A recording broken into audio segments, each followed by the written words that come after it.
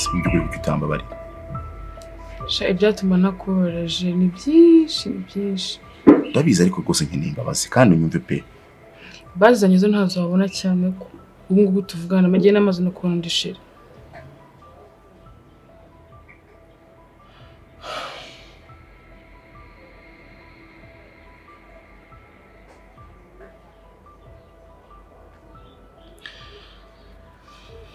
ubonye sheri akabagabo murasetse urandebye usanga ndimwe ku buryo ntahita mbona ndishira ndamufite.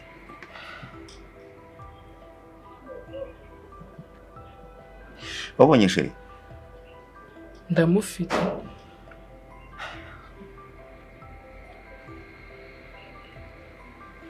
Uri shuri ufite sheri ubu ndakubeshya ngengana nawe cyangwa ndakubeshya ngo umarire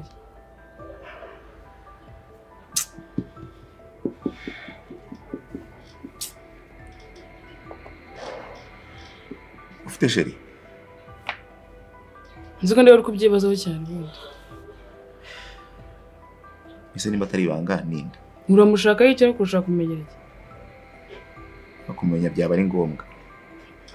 Nkaba nanaguhitamo nkabwira byibuze uyu nguyu byakunda cyangwa ntibyakunda. Nkanda se ukamitiramo nkande wewe wowe ukamitiramo nkande ariko nakubajije basi nsubiza njye nasubiranye n'umugabo wanjye ishari ngo? Nasubiranye n'umugabo wanjye. Mbese wasubiranye n'umugore wawe se ntajya nasubiranye n'umugabo wanjye. Wasubiranye?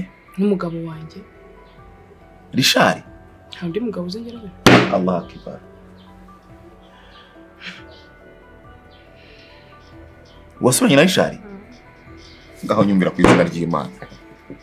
Wasubiranye na rishari ese ko ndumva bitinze ko ndwabigize ikibazo. Wowe ntasubiranye n'umugore wawe se ufite umeze neza? Rishari ni umugome rishari ntagukunda rishari ni ukuyobya rishari ni umutekamutwe rishari wasubirana na rishari bw'umuhe buryo. Kamoni ubwo rero ngugiriye umugore ni wowe unkunda. Ndagukunda birenze no kubitekereza garishyiraho gaho anasoma rishari? Nishari umugabo wanjye wanjye.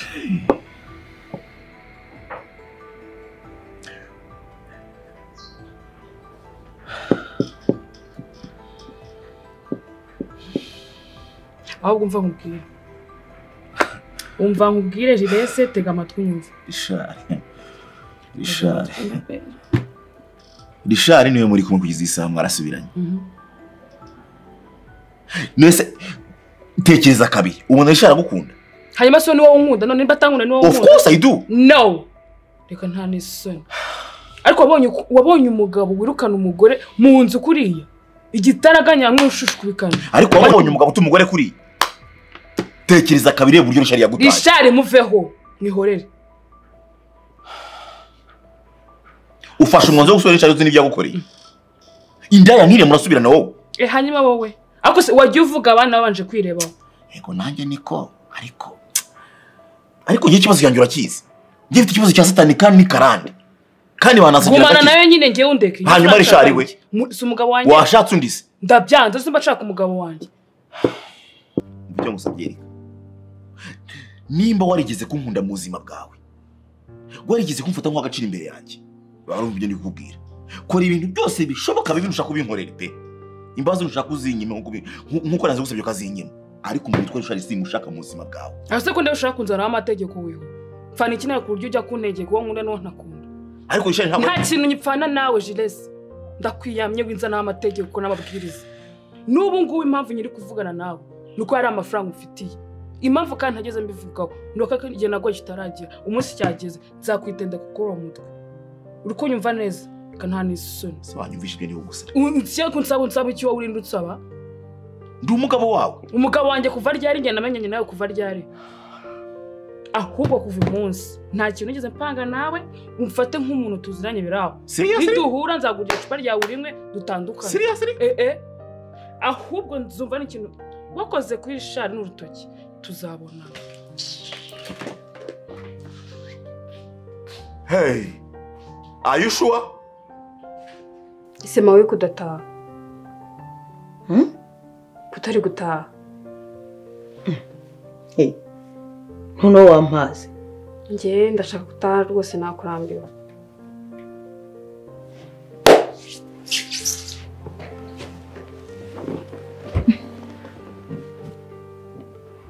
njye naje gusura umukwe wanjye ntabwo nataha ataraza ubizi ute se ko bagushaka uriya mwana w'intama umukwe wanjye ntawe ubonye umwana w'intama iyo aza kuba ari we mwana wanjye ndataha aje musezeye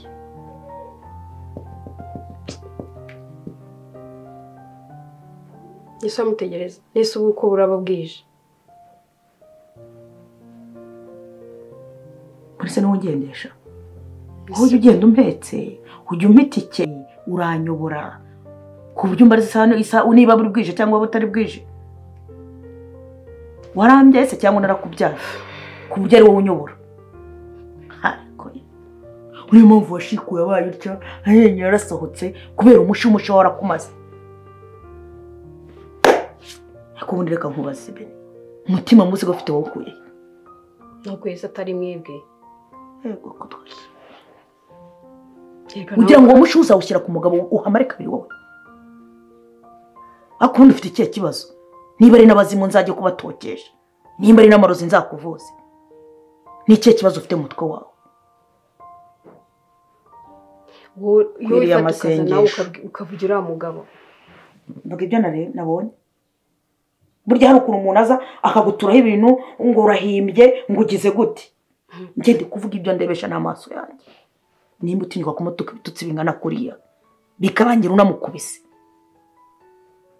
Hmm. siko niyo umuntu atareba agira gutya kumva ntakunda ima kiriya kigabo cyabahaye ibiki uzi ko abantu bose bavuga ko ari njye munyamafuti? Baba bagitetse babona ngo ari icyana cyiza kubera ko kiba kiri kwigirishwa nk'aho ari icyana niyo cyiza. yaba arimo bari kuba bazigurisha amafuti ye. Hanyuma si ibyo ni byo byiza? N'imana iravuga mu, byanditswe byahanuye ngo nimwishira nzabahishira.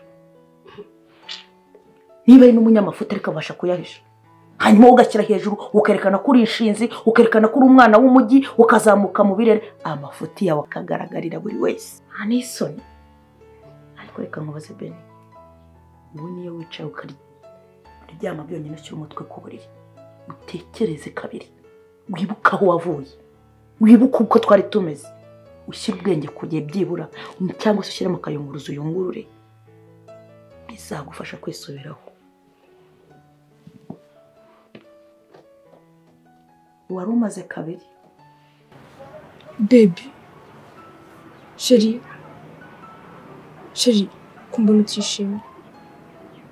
Be be wandebye nese ko mbona uri kureba ite? Byakugendekeye bite? No bebi none se basi ntabwo nagushimishije. Hari ikintu unenga koko? Ntacyo nkunenga. Nese sheri nese ndi kubona uri kure. Nese basi wamvugishije. Hmm? basi byibuze nshaka ko nansekera sibyo? Basi nsekera. Be ndakumva ese wabaye iki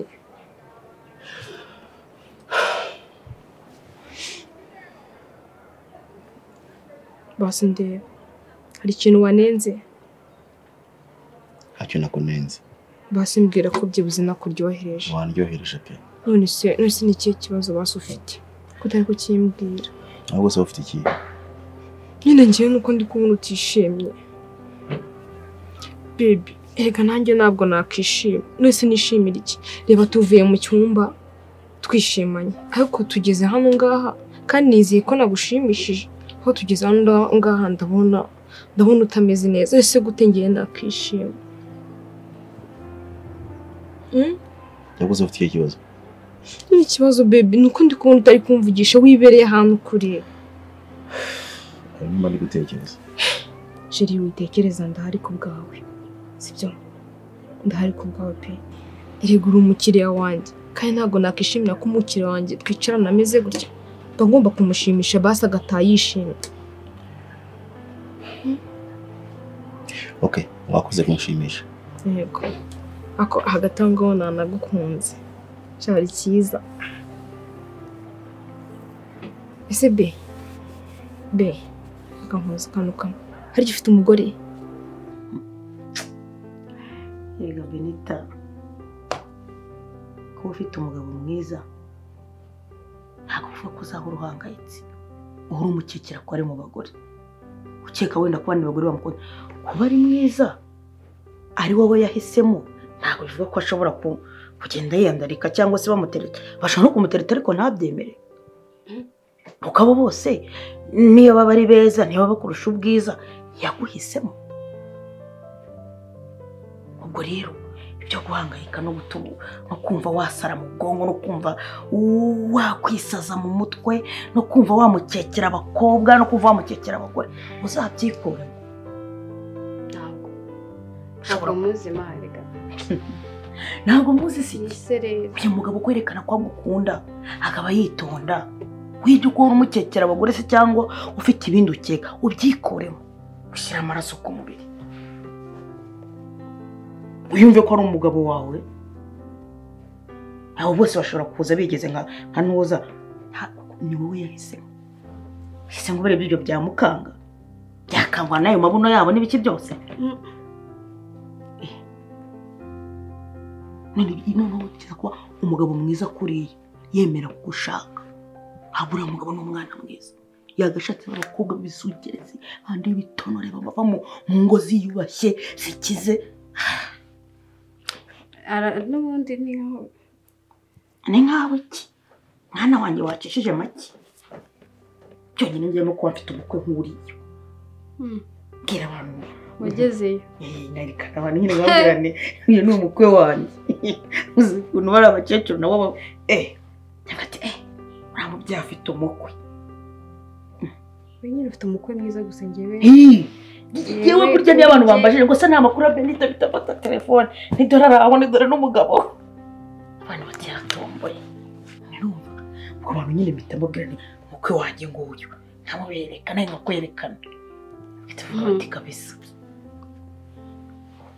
hehe none none se uri kubona ibeni hagati yawe n'umugabo wawe ninde wasabye ndi kubana nawe ni we kuva ari wagusabye rero ko mugomba kubana ni uko yari agukunze. Mubanire nawe nta mugabo ukunda ibintu by'induru. Umugabo wese aba ashaka ahantu agira agatuza uzi ko ubwawe kubera induru yawe n'umunwa wawe ushobora gutuma ajya mu bandi bagore? Kujya kuhashaka ituze n'umutekano? Gutaha akajya yumva sinataha. Akibaza ati nduru ndayitaha mone hariya ni amahoro mpabona. Bigatuma ajya ahakura amahoro. Cyangwa akajya ajya guhora yicaye mu kabari. Akareba ko bwira agataha hejuru yawe. neza induru Mwana ariko ibintu bibaye rimwe kabiri ntabwo nanjye ntabwo nzi w'abagabo ntabwo bazi.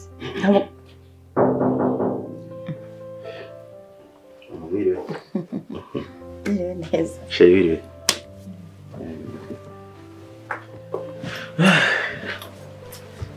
Mwagize ibihe byiza ariko.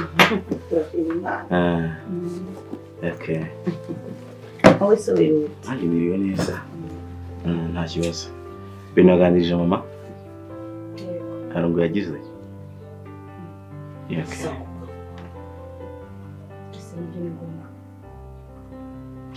Sheri? Sheri zaba? Twarakaje ubu. se nyikoreshwa n'izo ntoki utarakaraba twari turi kuganira Mm. Eh, ari kukumbwira nyine ngo nintahe Kuki? ndi kumbwira ko nataha utaraza museze Kiramara nyiri mu wakwirukana se? yambwira aho nyine ngo nintahe mbona nataha utaraza Gutahe? Nuko urabona ni mu mwavu bavuga ngo nirukanka byibuze zisanga utaratanyire twiganiriye gusa ushaka kwirukana mama. Ese mugira ko tutaganiriye birambuye. Kwirukana amaboko? Ego. Ariko basanga yikiniraga. Mm. urebye nyine. Mm. wenda yabonaga bwije Mm. Oya amasaha cyari kare ntabwo wajya tutaganiriye mama tuba tunakumburanye ntabwo. Mm, tugomba no kuganira birambuye. Nanze kugenda nyine utaraza Yeah. musezere ariko mwari muri aho?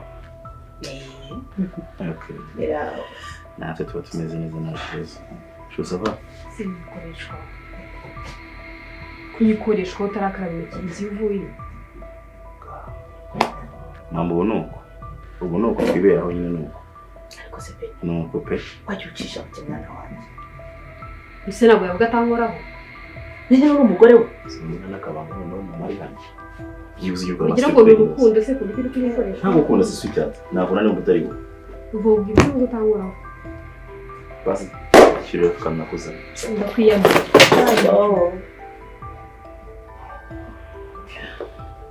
kuri urimo urampera ubwenge bwo guhenda abana. Benita naramumenye iyo avuye mu bagore buri gihe. Aza yizanishije utuntu ngo ari kumva mu bagore se wamufatiye naramumenye. Uwo mugore wamufatiye ariko benita wakijije amacuku. Yesi ibi ni ibiki ko atabikora buri munsi ra? Kuza yihesha utuntu wenda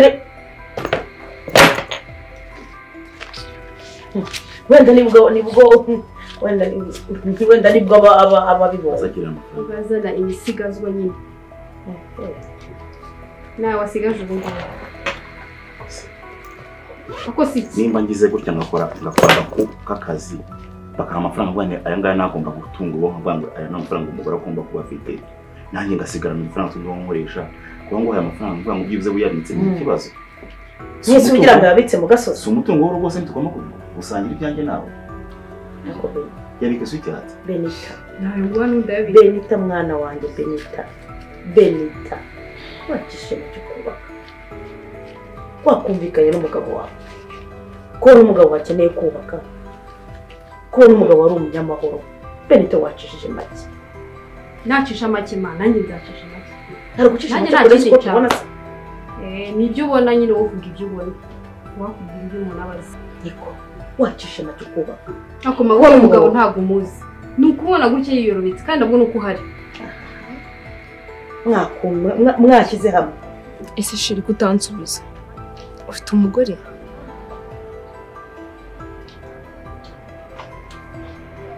Si sheri wawe uri kundeba nabi? Hmm? bebi wansubije? Ufite umugore? Kubera icyo uri kubimbaza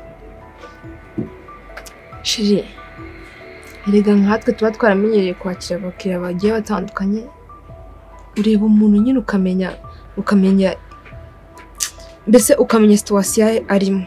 Sibyo?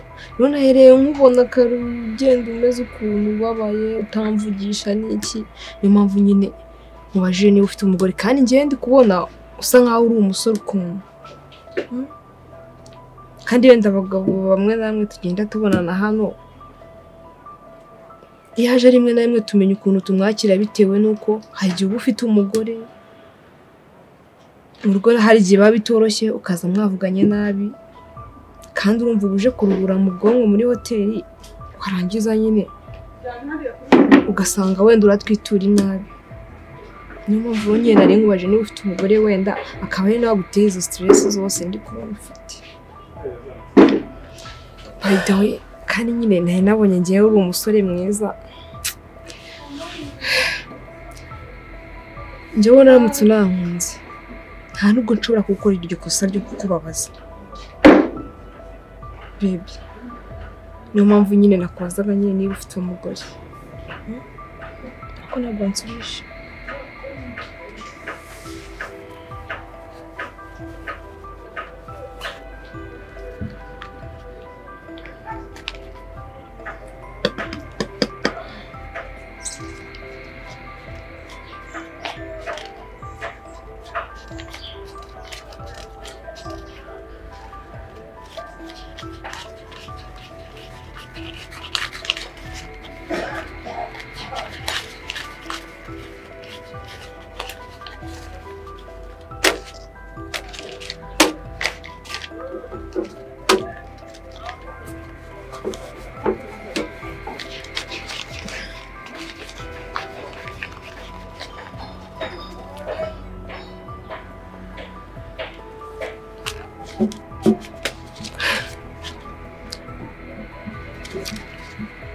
mbese aya mafaranga kuri kuyamenya Wait. ibyishimo wait.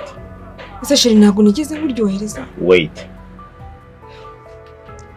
Bebe ntabwo nshaka ko basi ugenda urakaye uretse gato. Sibyo mbese njyana n'amafaranga nanayagusubiza rega ariko basi ntabwo nishimira kubona njyewe umukiriya twabonanye agenda ababaza. Uranyumva se icyo nshaka kukubwira? Okay basimbuye umwanya? Twahuye. Ya si amafaranga twavanye sinyaguhaye yego icyo mfana zitari amafaranga yego nta mafaranga ariko nanjye mfite inshingano zo kukunezeza baby. Mind your business. Icyo upfana nawe icyo dupfana ngira ni amafaranga ushiri erega amafaranga nubwo yamaye nanjye ntabwo nakishimira kugenda ubabaye gutyo. Eh? Please. Mm.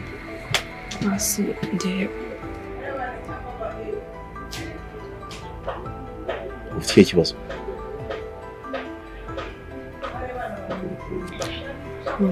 nta kibazo mfite ntiduhuye mbikubwira nongera mbigusubire mu your business Icyamfanaga- icyo napfanaga nawe ni amafaranga impamvu y'ibi byose nakwihoreye nabonye ushaka kunyinjirira cyane kandi ntabonye nk'uri umuntu yinjirira urantekereza wowe nturindaya ntiwicuruza nigeze nkubaza impamvu wicuruza nanjye nticara kumenya ngo ufite umugore cyangwa ntawe ufite wimbaza iby'umugore wimbaza nkande inshingano zanjye si ukukunezeza twubahane. Waneje nanjye nashimye. Kandi nanjye nakwishyura basi nanjye binyereke. Akira amafaranga yawe. Mva imbere. Toka. Toka tujye duhura tuzuzwa n'amafaranga. Toka. Mwabaye mute uburaya bwanyu sinishyuye. Ushobora kumveyukaho kwicare mu nkono ishyushye. Wambunda we. Mama ntakubeshye narahindura zose zibaho ku izina ry'imana uyu mukobwa wawe bene sinzi ikibazo afite.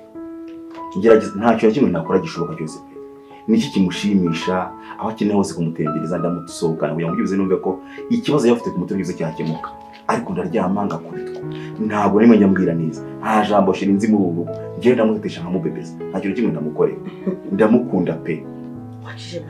Njye sinzi ikibazo afite aho. Nari nzi ko wenda ndibuze guhamagara muri minsi ukambwira ikibazo nashobora nawe kuba afite. urebe aho kiri urebe aho bihengamiye umuse nk'ababihengamuramo nawe ucishe make wumvira umugabo wawe. Nawe urebe umugore wawe ikimubabaza.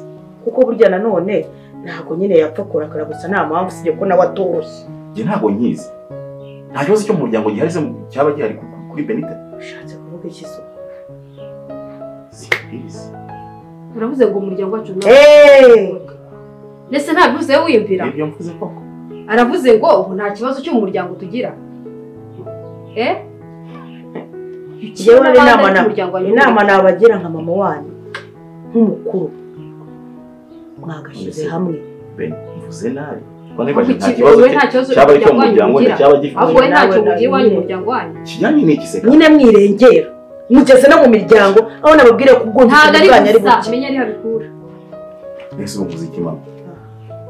Mutangiye no kurengera mugeze no mu ukoze miryango. Iki se avuze ibyo umuryango utamva inkuru hibereye wese ko bikuru bigize birebire mama basi niba mvuze nabi basi mbabarira shumba barira basi.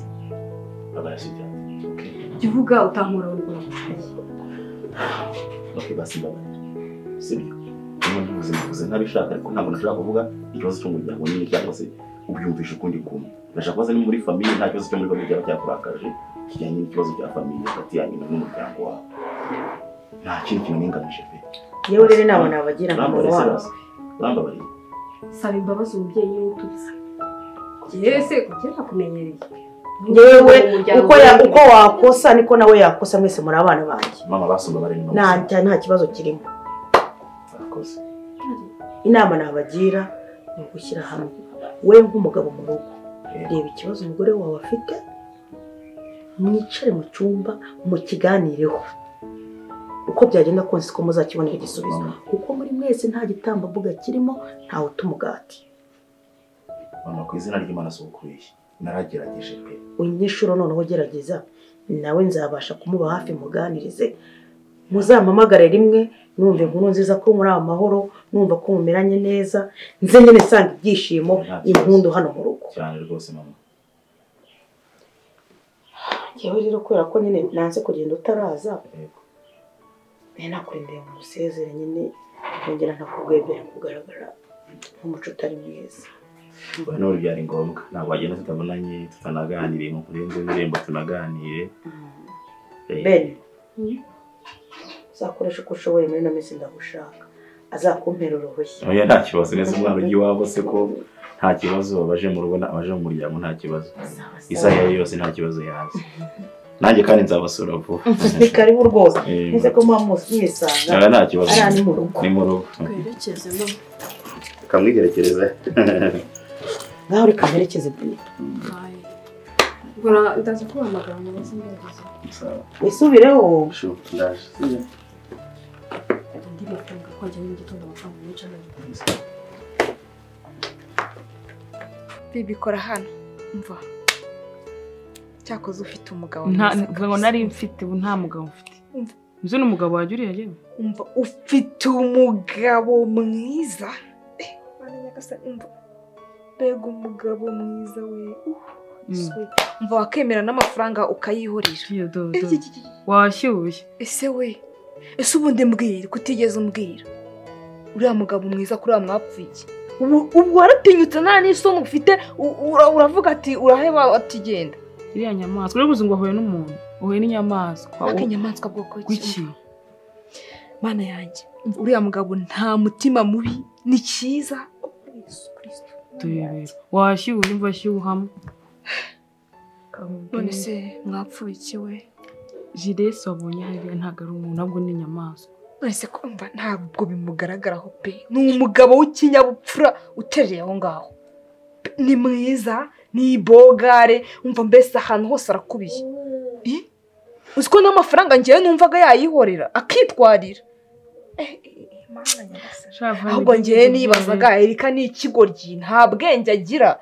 Ese uba uremera yesu we ntabwo uzi abantu bari hanze ahangaha uzajugunye uzabona abandi bamutoragura. Ese umugabo mwiza nk'uriya witonda? Erika umugabo mwiza nk'uriya koko. Witonda kuriya usa kuriya ufite igihagararo kingana kuriya iboga rimeze kuriya mwapfuye iki koko? Jiresi reba hariya yakoze tushe yankoreye tushe ku buryo. No kumubabarira ntumva nta n'umutima najya wo kumubabarira. Ariko ko njyewe nabonye ari umwana mwiza we? Mani njyewe narebaga ari umwana mwiza ku buryo nta nubwo nzi ukuntu nabikubwira. Njye nari nagiye nari natwawe. Umva bamubwiriye tushe uburyo idashobora gutuma umubabarira. Jama twarabaye Hmm. Mu kubana ebe uyu yagiraga amafuti n'agafuti. Ngaho ibaze mu twabanye yari afite umugore afite umwana ntabyo nzi ntabyo nzi. Noneho n'uwo twabanaga mu nzu nawe bararyamanaga nta makuru mfite. Bro ubwo usurisha neza ko batakuzi uretse sinzi ahantu yaturumbutse avuye yaraje ambwira ibifuti byose byiwe. Akimara kubimbwira gutyo yahise ansohora nk'imbwa gutyo aransohora mu nzu. Gutyo ako kanya amaze kubimbwira imyenda yanjye aransohora.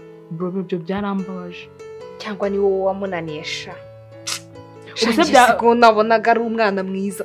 Ase ubundi umuntu muhuye bwa mbere wabwirwa n'iki? Wicaye wabwirwa n'iki? Ubwo wamukunze?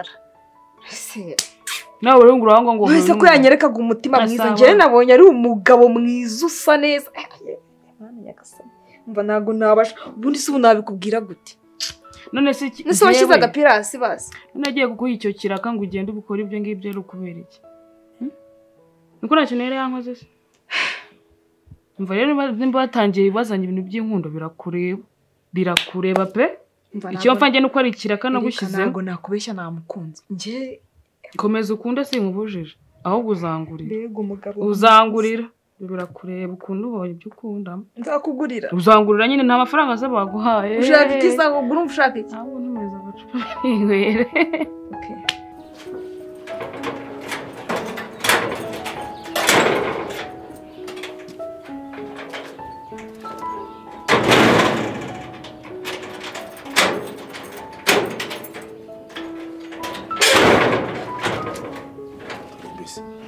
waze kushinza nk'umwanya ngashinga ihembe ushinza nk'aho marike Se bigutwaye iki kuhamagaza hano? reka nkubaze ubundi ko nakubwiye ngo wirukane nyoko ubu yari akimara icyanga ukuntu ugeze imbere se ukibyo wumva ubutaha niba ushaka udashaka umuntu uzajya umwibwira pana ngewe sibyo utayimubwira se si wowe wamuzanye si wowe wamuzanye se? Utayimubwira se wowe wamuzanye ninde wamuzanye Ninde wamuzanye? ntabwo ari njye wamuzanye arewe arewe. yanaza nta kosa afite arewe. Agomba kwisanga arewe. si uriya madamu nyoko simukunda simushaka simukunda inde. Wowe ibyo kuntuma ngo ngende nzagira gute nzabimubwire ari uwo mukuru. mbese yigeze bimubwira si wowe wamuhamagaye ngo naze ahangaha ngo uje kundega hanyuma ndetse nyine Bifashe iki Bifashe iki ni uko yasanze nyine ibyo wamubwiye nyine atari ibyo azi ko ndi umwana mwiza. Eh hanyuma wowe inde umwanga se inde agira amagambo menshi kandi njye simbikunda akunda kunsomera kandi njye simbikunda kandi umuryango wanyu nawe urawizi. Umuryango wanyu urawuzi. Aba yakuvugiye ubundi abantu bose bakuvugira ubaha ibiki? Bagira gute? Ubaha ibiki wowe reka wogira amagambo menshi kandi atagira ibikorwa. Shaka kubona ibikorwa byanjye cyane. Ageze ko ntazatinda kubikwereka inde?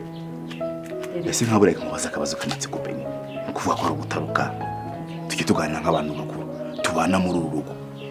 Nka buriya kwifata kuriya nk'iriya mico yawe ugasara muri saro ugasara ugasisora umpondagura buriya wari uri mu biki.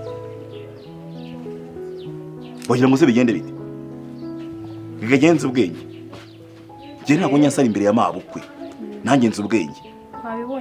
Urasagira ngo bigende bite? Nko gucishijemo ijisho nyine akagenda abona ko afite urwana rw'urugoryi. Ntabizi ko kuva na cyo rurushwe umuntu nihana akabanga imbere ya nyina. Eh, uzuva ko nayindi gusa ari nka nkokomagura. Tugende mu nzu ngukubite rero. Tugende mu nzu ngukubite unkubite? Wongere gute? Njye mu nzu Tugende mu nzu barakubeshye. Njye ntabwo ndi kata wa- wari warifatiriye. Reka nkubwize ukuri. Ntabwo ndi kata kimwe kimwe unkubita nanjye nkunobo nkuna bese ubibone? Ibeshya unkoreho ahubwo. Nkuna bo ubibone? Ibeshya unkoreho. Vuga ati noba. None njye nzajya nanagukubita banagufunga ari we nakubise. Wanakubiswe. Uvuze ngo? Uvuze ngo- uzibeshya wongere unkoreho. uvuze ngo uvuze ngo wabyumvise.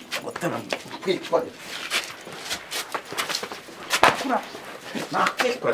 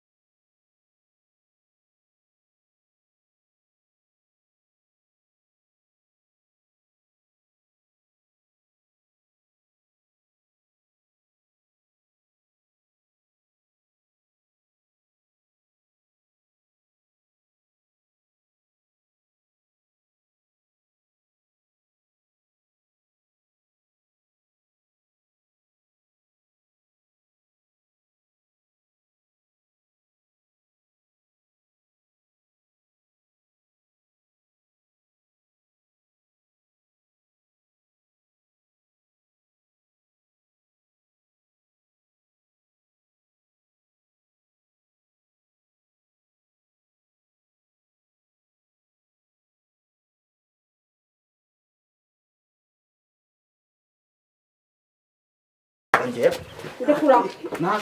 nakuruma ngewe hanyuma, nakuruma nakuruma nakuruma nakuruma nakuruma amatwi nakuruma Ongera amatwi. Ongera nta muntu wo muri bibiri ngo ngo zaciye amatwi ongera naguca amatwi nkaguca ongera amatwi uhoze n'imitwe y'intoki noneho ubundi iki ngiki nakimenye gute maheru gusa